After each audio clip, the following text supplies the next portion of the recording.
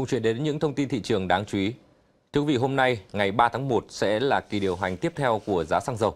Và theo dự báo thì mỗi lít xăng có thể tăng tiếp từ 600 đến 900 đồng nếu nhà điều hành không sử dụng quỹ bình ổn. Cụ thể, sau khi tăng giá 1.000 đồng theo thuế bảo vệ môi trường năm 2023, ngày 1 tháng 1, giá xăng dầu sẽ tiếp tục được điều chỉnh vào chiều nay, ngày 3 tháng 1. Do ngày 1 tháng 1 thì trùng với ngày nghỉ Tết Dương lịch. Các chuyên gia dự báo giá dầu thế giới nhiều ngày qua đảo chiều đi lên, nên ở kỳ điều hành chiều nay, giá trong nước sẽ tăng mạnh.